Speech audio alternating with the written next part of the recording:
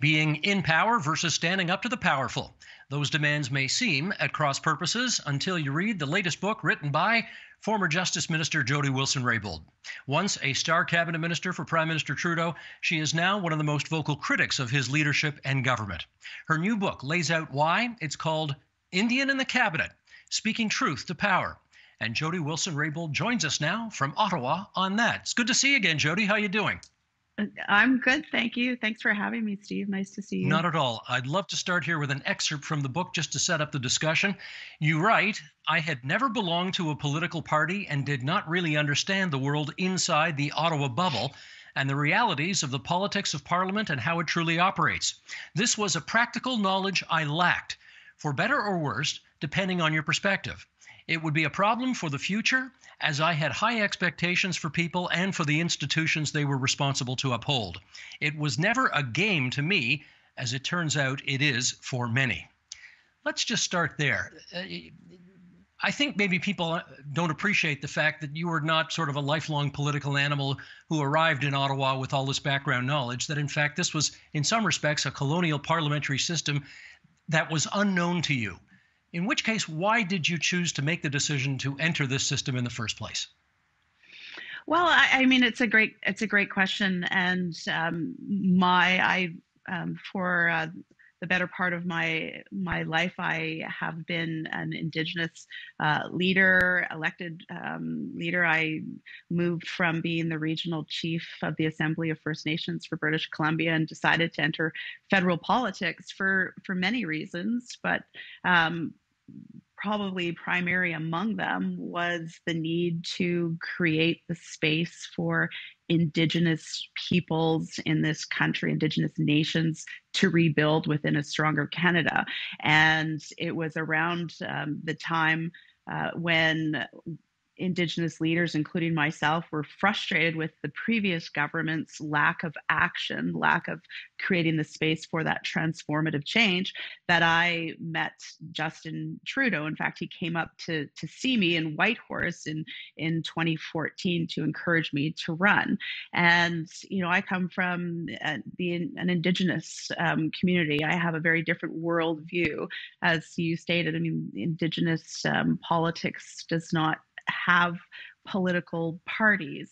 Um, that's not to say that we do not have divergent opinions among Indigenous peoples, but uh, we work through a process of consensus building um, to achieve like, goals, to, and particularly to improve quality of life for our people. So, transitioning from the indigenous world of politics to um, federal mainstream politics was was an eye opener for me. And um, um, for better or for worse, I think it is for better in terms of uh, my worldview that looks to um, embrace different perspectives on issues and welcome different views on issues to to create a space that we can come up with solutions that are are more long term that have more sustainability in terms of addressing major issues of our time. That was not um, necessarily my experience when I, I jumped into to federal politics, where there is a, a very entrenched culture of partisanship and um, allegiance. Sometimes I describe as blind loyalty to a political party. Now, I understand, but, but before you saw that aspect of politics, which obviously you didn't like at all, you must have seen something in Justin Trudeau and or the Liberal Party that you found appealing enough because he courted you to run and you said yes. What was that? Yeah, I mean, absolutely. I mean, I reflect back and I talk about this in in the book. I, at the time in 2014, up to including in the very early years of of the government, um, 2015 and on, um, there was great hope and great optimism. Uh, the the words that were used a lot were about doing politics differently, being open and transparent. Um, I had lot, a number of conversations with Justin Trudeau back then about our vision for the country, about tackling major issues like climate change, creating that space for transformative change in terms of the relationship between gov- governments and indigenous peoples. So we were aligned on a lot of, of issues, including around conversations in terms of values, the values of equality and inclusion, and working towards achieving justice for all individuals. These are values that I was raised on and still hold very close um, to this day. So there was alignment, and and the the Justin Trudeau and the Liberal Party mostly Justin Trudeau, who presented himself to me, was somebody that um, I believed in, and I believed in the vision that we were working collectively um, towards uh, in those early years. Well, if you want to see some proof of how much you believed him in, and I know you get tired of looking at this picture, but it's in your book. Okay, here's the cabinet swearing in. I mean, that was a lovely moment of Canada swearing in its first ever Indigenous Justice Minister. What were you thinking at that moment?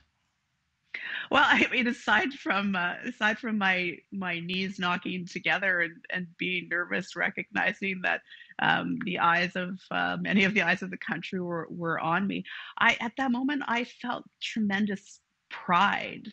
I was overcome with emotion in terms of what that moment meant, of course, to me and my family, and um, you know more broadly than that, but in particular, what it meant um, to Indigenous peoples. Um, being sworn in as the first Minister of Justice and Attorney General of Canada that is Indigenous meant something. It meant something for the country in terms of how far we have come.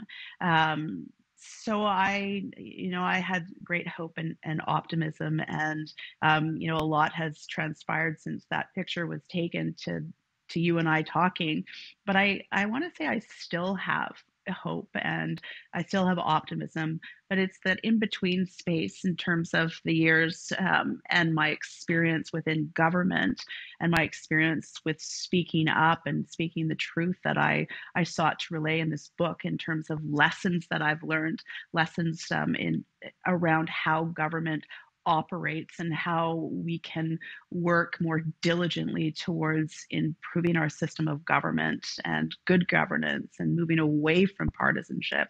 Um, so it's I hope that um, through the writing of this book and telling of my story that um, um others can can learn from that and we can continue to improve as a country.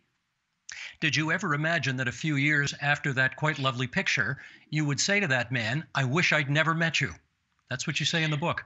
I, I, no, I never, I never thought that. I, I, mean, I do talk about some warning signs in, in terms of some of the um, interactions and experiences that I had early on.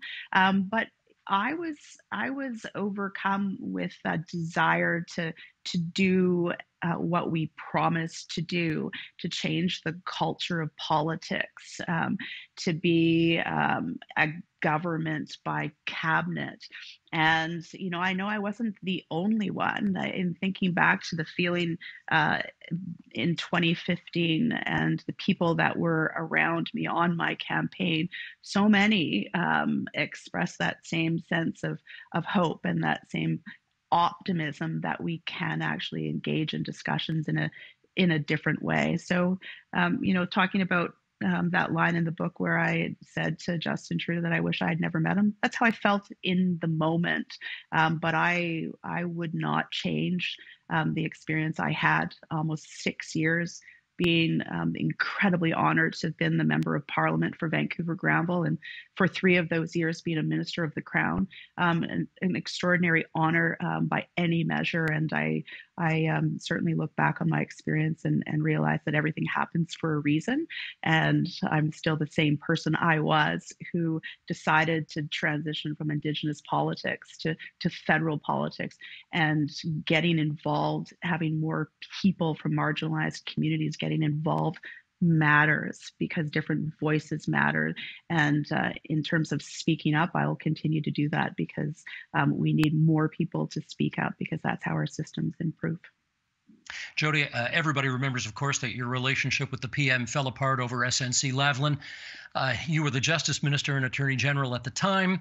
Uh, you believed that he and his people were inappropriately trying to influence your independence that you felt you needed, and in fact, legally you had, uh, to do your job in the way that you did it. we don't need to relitigate the whole SNC Lavalin thing here to be sure, but for those who don't understand the significance of what your concerns were, what exactly is the problem with a prime minister, a Montreal MP to boot, trying to use his good offices to try to make sure that a company that hires 9,000 people in the province of Quebec gets every break? Well, I, I, mean, I was the Minister of Justice and the Attorney General of Canada, and those are two very distinct roles. As the Attorney General, um, I am responsible, or the Attorney General is responsible for overseeing prosecutions in this country. And um, I um, understood my job very clearly. And um, while jobs are important and ensuring people have well paying jobs is something that we all want to aspire to, there are basic fundamental tenets in our democracy, including having um, and the independence of the judicial system, independence of the prosecution, and as the Attorney General overseeing that and ensuring that there is no political interference in how um, one prosecutes particular cases, um, underscores that and ensuring that the rule of law is upheld. Um, um as if we were to diminish that, um, our country suffers. So um, I, it's incumbent upon any attorney general to ensure that there is no political interference in um, the justice system in the prosecution of any case. Um, that was my job, and the the pressure that was um, exerted on me throughout that time around SNC was completely improper. Um, thankfully, um, certainly I knew my job and did not allow that um, any pressure to be placed upon me to ensure that I um, did my job and upheld uh, um, the rule of law and the independence of uh, the justice system. Okay, fair enough. But you did tell Mr. Trudeau, and I read it in the book, when you decided to run for him and the Liberals, you said, I'm all in. And I wonder if you understood that when you say you're all in, it means you serve at his pleasure. You're not his equal, you work for him. Did you get that? I, I did, and I, I think that I, I mean, certainly I understand it is the prerogative of the prime minister to appoint uh, his ministers or her ministers. Uh, and as I said, I was greatly honored to be the Minister of Justice and the AG.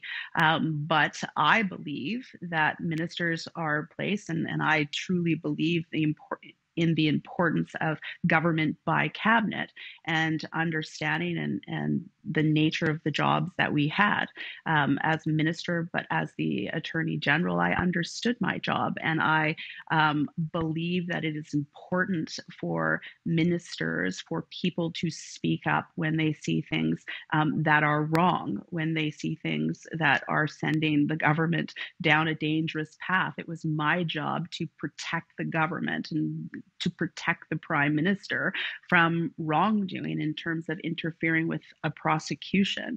I would expect that any leader would look to their attorney general to do exactly the same thing.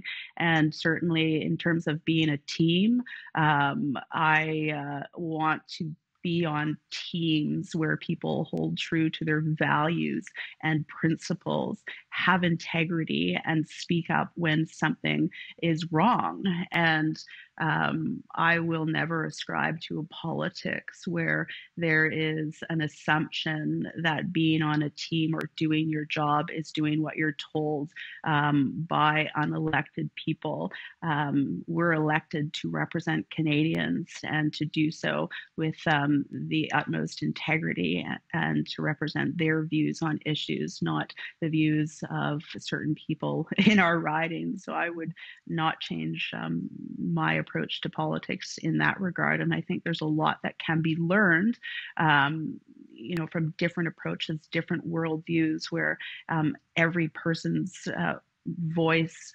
matters and decisions should be made on on um, evidence on um, experience on what's best and what's right not on what is politically expedient or what will um, ensure that we keep um, as many votes as possible. Um, i think that what is what and i've heard what Canadians want and see as being positive leadership um, characteristics and values in, in politicians. At one point, you quote the PM saying to you, You, Jody, are challenging and infuriatingly headstrong, but that is why we love you. What did you infer from that when he said that?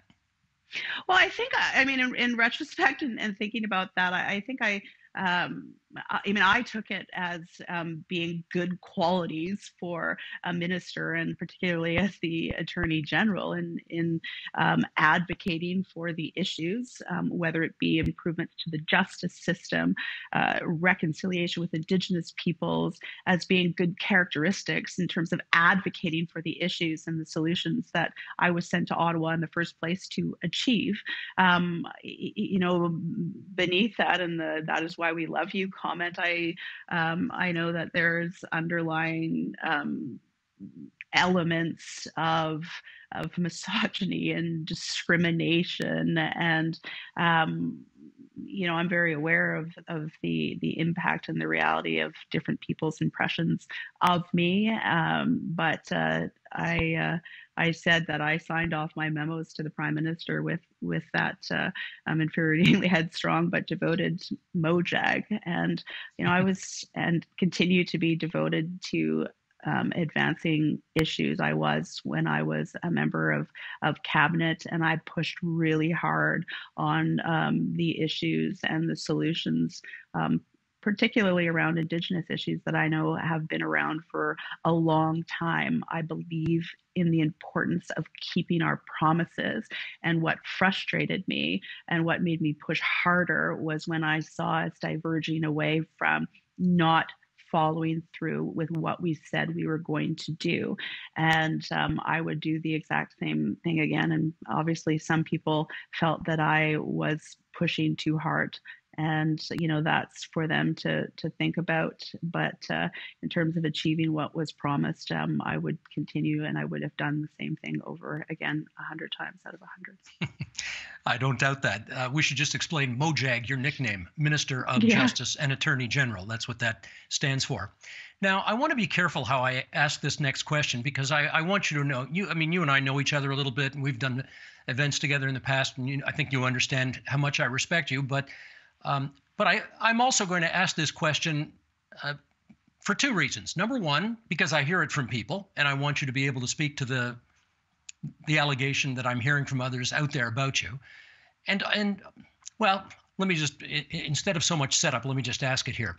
Would you allow for the possibility that Prime Minister Trudeau actually gave you a lot more latitude to be, and I use this word advisedly, insubordinate with him perhaps more leeway to be that way than he might have given other cabinet ministers because of your indigenous background and because he understood that if he had a public confrontation with you, it wasn't the same as having a public confrontation with anybody else. Um, I mean, I think that, in fairness, is a question to to ask the prime minister.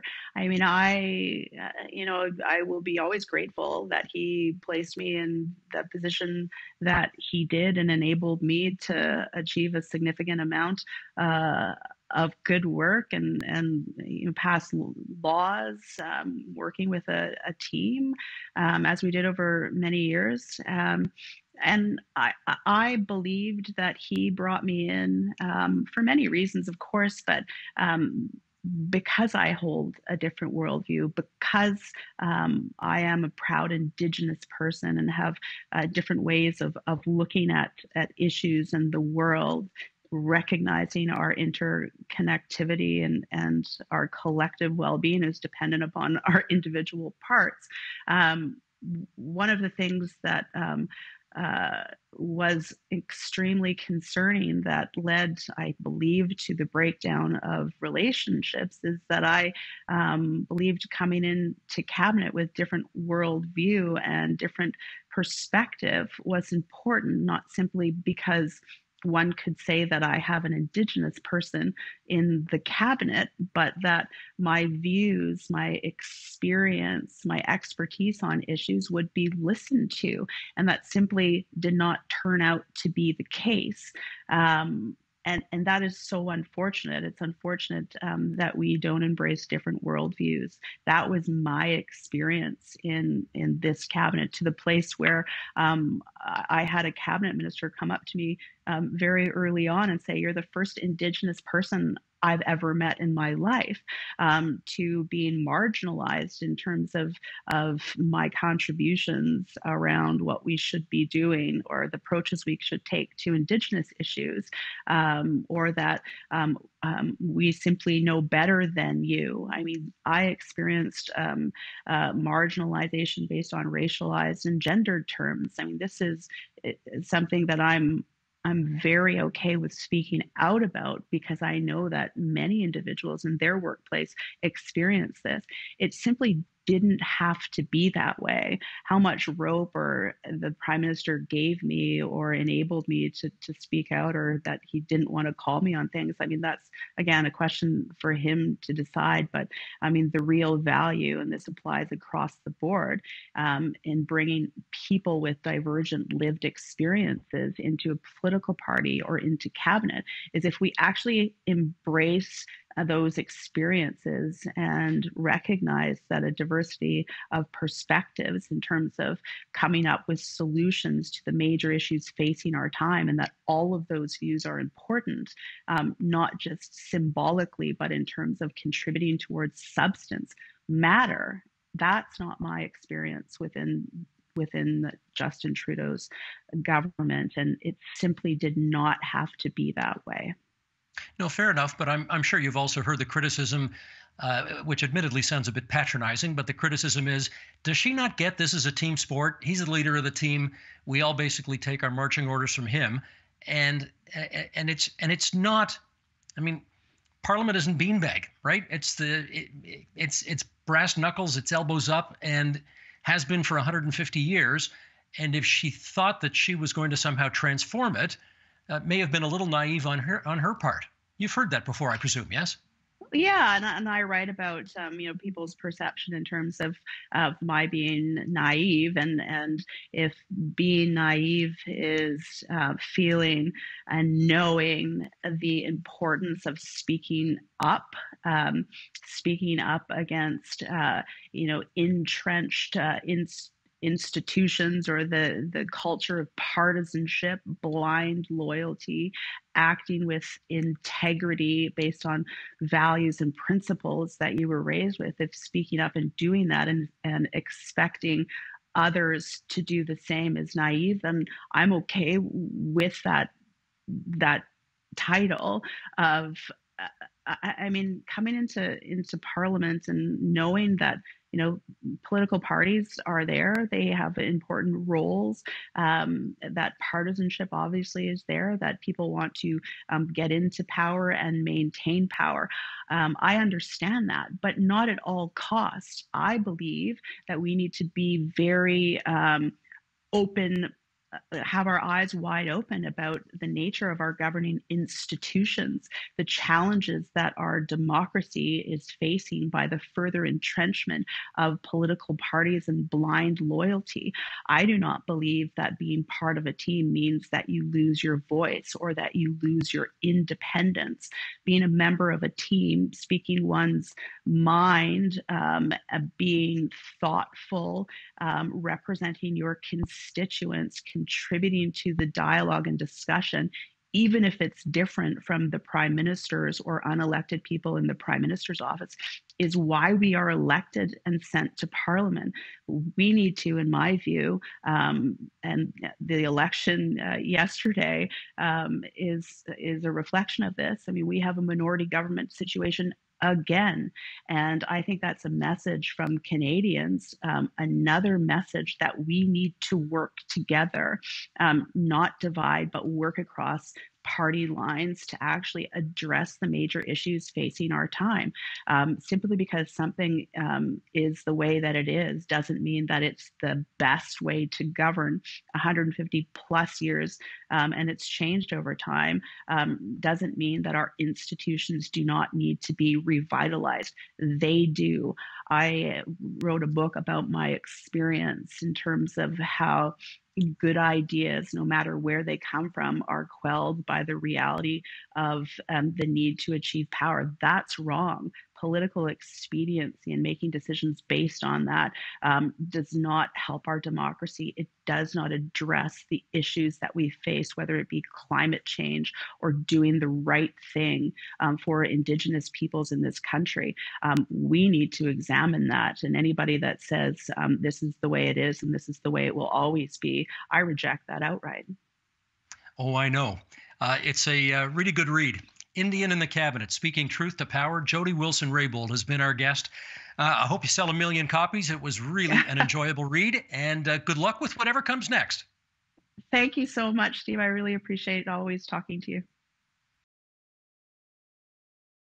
The Agenda with Steve Paikin is made possible through generous philanthropic contributions from viewers like you. Thank you for supporting TVO's journalism.